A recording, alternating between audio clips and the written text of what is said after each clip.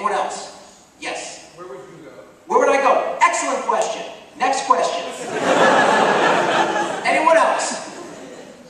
Yes. Escape by sea, is that valuable? If you have a boat, the guy asked, escape by sea, is that viable? Yes, it's viable. Do you know how to sail?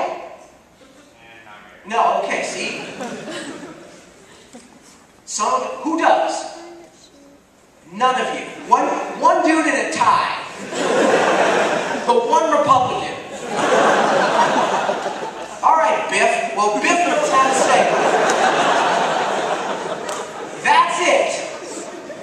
Since the rest of you don't, I wouldn't get started now. Okay, I would think of something else because you you can't just have a motorboat because guess what? They need gas. Oh my goodness. So, Biff, you're good. You here, you know what to do. You, not so much. Think of something else. Anyone else? I talked to you. Anyone else? Yes. That's an excellent question. Look, I know fast zombies are out there. In movies. And I've seen them in 28 Days Later, and 29 Days Later, and Dawn of the Dead, and The Walking Dead. I, I saw Walking Dead, and they don't really run because they're trying, but they do this sort of hyper limp, where they're kind of walking, and then they see someone, and then they start going like this. And you almost expect to hear the Benny Hill theme. So I get it. It's entertaining. But we know it's not real. Anyway, moving on. Yes. Would the zombie outbreak be a disease, a manufactured toxin, or a supernatural? Oh, will it, okay. Will it be a disease, a toxin, or what do you mean like supernatural? Like, like, the, you mean, like Dracula? Graves. Oh, zombies rising from the grave. Yes. No, of course, that's logical because a rotted corpse can totally burst through a sealed casket, which is sealed in a metal box under six feet of compressed dirt. Yeah, no, that totally could happen. I saw Return of the Living Dead. More brains. They're back from the grave, ready to party. What a movie. No, it will be a disease. Okay, like everything in life. Okay? And and don't worry, you can't get it from a toilet seat or a sneeze. Alright, freshmen, don't. Anyone else? Arctic or desert, where's the better place? Arctic or desert? Well, that's a very good question. Which one do you have any experience with? Cold or warm? Cold or the warm? Well, here's what you try to do. Okay? This winter, go to the Arctic. Yourself, could I survive here? Probably not. Then, in the summer, go to the desert. And think, could I survive here? Probably not. And then you flip a coin. Anyone else? Yes, in the way back. Uh, go? Um, that's a very good question. In your group, you're going to need a combination of both. All right? And that's very important. Like, especially for blunt force trauma, you're going to need a lot more power. And that's okay. Uh, sir, what is your name? Nick, Nick. Nick, what sport do you play? uh, I played hockey. Thank you. All right. and this is important. Look, Nick- and, and Nick made a really good point. This is another resource you're going to need for your group. Because on college campuses, they have a very important resource known as jocks.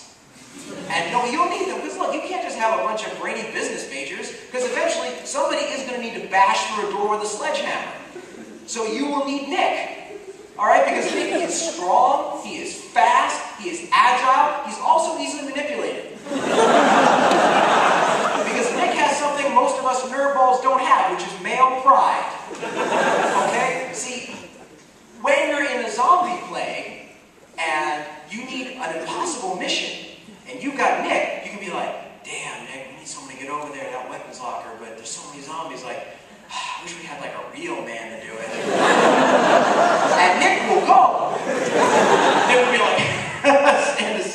You. Uh,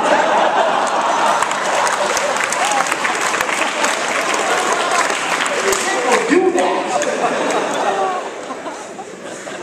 So we have sailor and a hockey playing sledgehammer dude. We're already building a group. Moving on, anyone else? Yes. How many people is too many in your group? That's an excellent question. Well, when you're building a group, you need redundancy. Okay? So, like, you need a sailor and you need an assistant sailor. because what happens if, you know, Biff slips and drives overboard and is eaten by a shark? You need an assistant. All right? What if Nick doesn't come back from that, that mission? Okay? You need an assistant jock.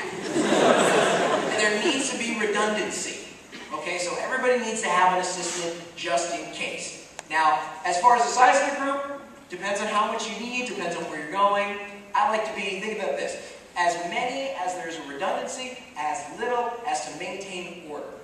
Okay, because you don't want a bunch of chaos. Because look, I know I went to college, it took us like two hours to order a freaking pizza. Nobody can make a decision, so you need to have that cohesion. Is there anyone here in ROTC? No, of course not. Go find them. They're out there. They're the ones who get up early in the morning. Anyone else? Yes, sir. During Ward, this is kind of reference to your Should we trust the government the? Oh, a very good question. Should you trust the government or the authorities? Look, sir, if you want, what's your name? Andrew, if you want to trust the government, that's great, okay? If you're, you know, living in New Orleans and the levees break, you just sit on that roof with a big sign. I'm sure they'll be by soon enough. Yes, in the way back. Combat what? Combat in an urban environment? I think combat in an urban environment sucks balls. Which is why you want to get out. Because nobody likes fighting in a city. Not even a, a nice, peaceful, just liberal city like Boston. Because I guarantee you, Boston will become a bloodbath. The word Boston Massacre is going to take on a whole meaning. It's not just going to be about six dudes. What a massacre. Uh, so get out. Look, I'm from LA. I have lived through earthquakes. I have lived through fires. I have lived through floods. I have lived through Rodney King getting his ass whipped by the cops. LA's not ready for anything.